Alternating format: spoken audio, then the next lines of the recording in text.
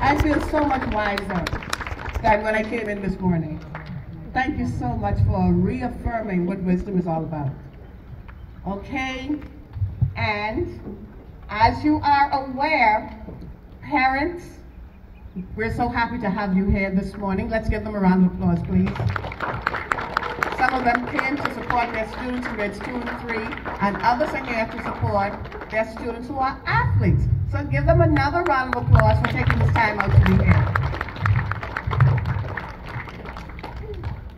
Thank you. Our principal is not here now, so I'm taking her spot for the moment, but let me tell you how happy we are that you've graced us with your presence.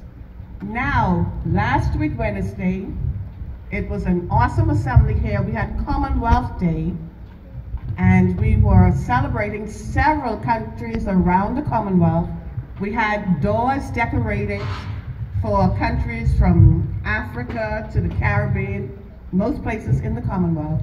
We also had a Commonwealth door competition, and you can see that some of the stuff is still on the doors, but it was beautiful. The performances of the students was also dynamic.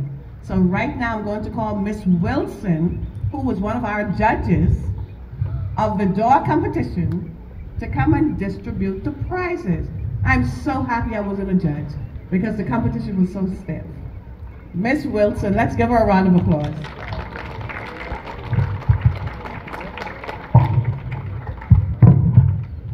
Well, good morning again, everyone. So I am going to announce, without further ado, the winners for the Commonwealth Day competition. So the competition was fierce. I was one of the judges. So I'm just going to announce our prizes. I will announce third place, then second place, and then first place.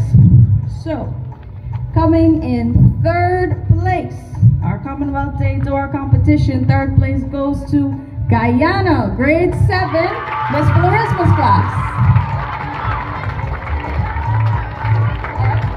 Miss Florisma, come up and collect your certificate, please.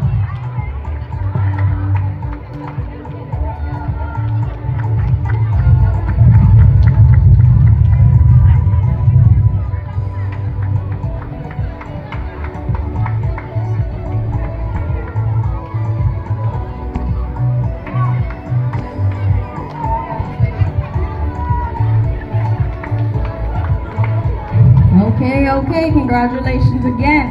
So coming in